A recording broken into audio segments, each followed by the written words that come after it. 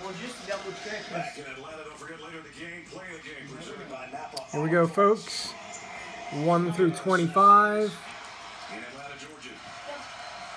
One of the plays of the game so far, a blocked field goal by Daquan Hawkins Muckle right before that time. 616. Ball back with Nick Chubb on the run.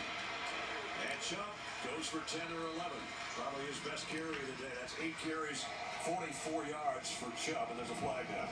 Remember earlier I said Jeb Blazevich got put into the backfield by Holland. This time he gets the key. All right, we got 1 through 25, so let's get a winner. Not sure what the call was. Blazevich gets a big time block.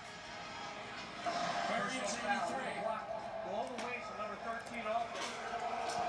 That was 15 yards. First down. 21 takes it.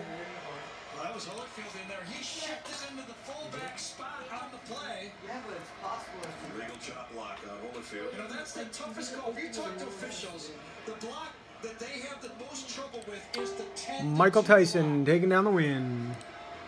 Yep, 21 it was. 21 is Tyson. Spots of 13 Ending out. Comes out, and yes, 617. Have a good one, everybody. play